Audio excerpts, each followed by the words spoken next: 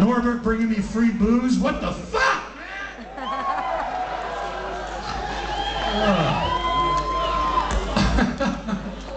what do you got? The hash hash there for me to smoke? No.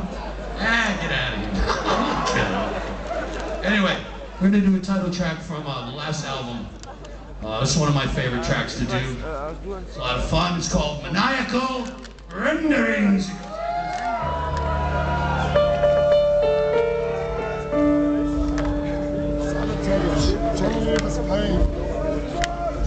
Arbuckle.